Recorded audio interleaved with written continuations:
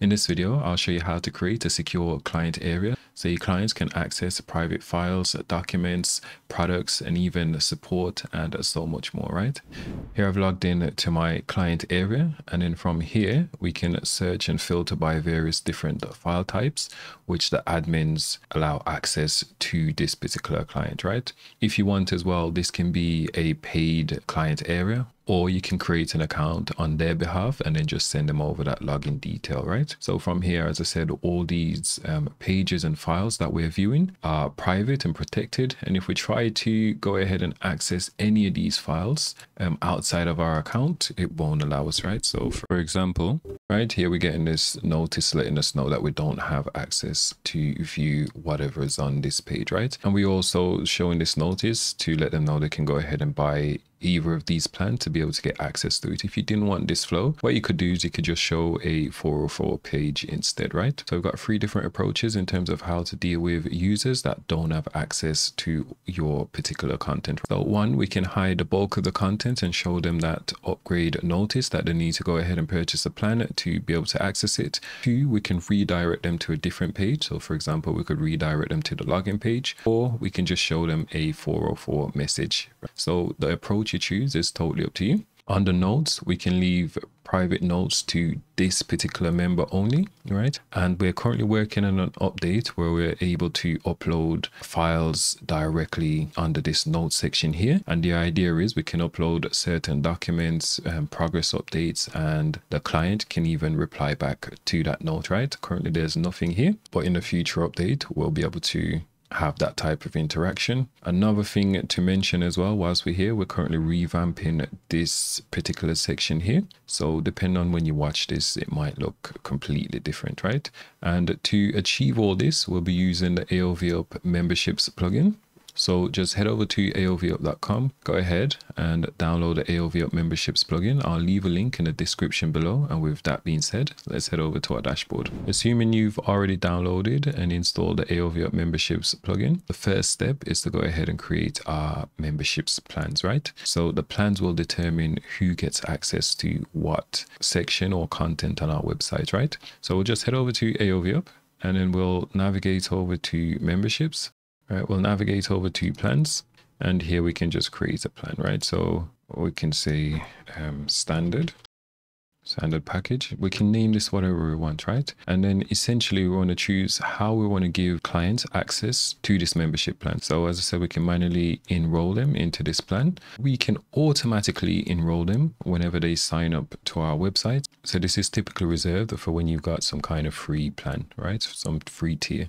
Um, product purchase, if you want to offer a subscription or anything of that nature, then would use product purchase. So for example, we could say, let's imagine this client portal was for VIP support. And maybe we can say if they pay us $500 a year, then they'll get access to this VIP um, support package, right? Or standard support package. And essentially we'll just create a product. So we can just click add new, go ahead and create our subscription product. I'm assuming if you want to go for the subscription product as well, you need to go for the all access plan when you download the AOV memberships plugin. And that will give you access to creating memberships. That will give you access to creating membership style um, plans, right? For this example, I'm just going to say manually assign, right? The membership length, we'll just set this to unlimited. You can set it to a fixed date if you want. And then here we can start to choose which pages they'll get access to, right? So maybe we've got a projects page, so we could select the type as pages, and then maybe we've got a projects page, so I don't have this on this website, and then you'll just go ahead and select whatever content you want clients within this membership plan you get access to. So you just go ahead and add all the different um, content or sections on your site you want clients to get access to. You don't have to add all of them in this particular moment here, right? So as we're uploading and adding new content to our site, you'll get a new option that allows you to choose who gets access to that particular content, right? We can offer the discount here. You can choose what sections are included in the client area. So we're currently working on a feature that will give you the ability to add custom links to their dashboard, right? That's 75% ready. So not long after we post this video, that feature should be ready. Essentially, we can choose from content. So this is the exclusive um, content that they've got access to, discounts, notes, and manage. So they can manage their membership, right? If they've got some kind of subscription with yourself, they'll be able to manage it there. And if we didn't need any of these um, menu items, we can just go ahead and remove it just like that, right? Okay, so once we're happy with everything, we can just hit publish and that's it. So now we'll have a look at how we'd actually enroll someone into this standard package here. So we'll navigate over to members and then we can just click add new member and then we can search for our member here, right? Or we can create a new member.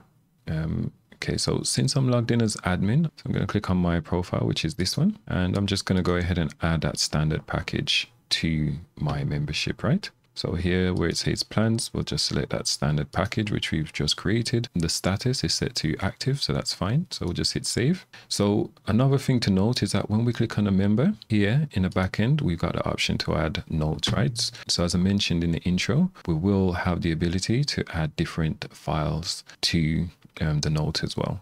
We can also notify the client when we've added a note, right? So we can just click add note here. We can add multiple notes. So this is a great way to keep your client up to date on whatever project it is you're working on, right? So we can even leave a link here and just say, like we've just finished creating um, the thank you page on your website, you, you can go ahead and visit it here and they'll have the option as well in the future to reply directly to that note. So as I said, let's go ahead and check this out and see what the notes like. So let's navigate over to our dashboard. Okay, and I'm going to navigate over to memberships and I'm going to go ahead and select this standard package here, right?